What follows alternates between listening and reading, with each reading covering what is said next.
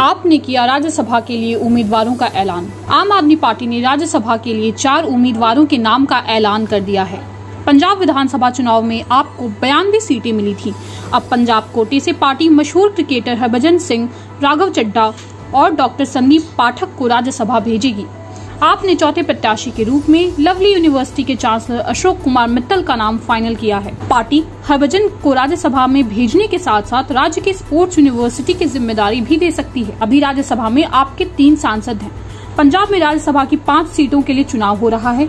माना जा रहा है कि इन सभी पाँच सीटों पर आप जीत दर्ज कर सकती है। और इस तरह से अप्रैल में, उच्च सदन में आपके सांसदों की संख्या बढ़कर आठ हो सकती है। अभी राज्यसभा में आम आदमी पार्टी के तीन सदस्य हैं और ये सभी दिल्ली से हैं। इनमें राज्यसभा सांसद संजय सिंह, सुशील गुप्ता और एन डी गुप्ता हैं।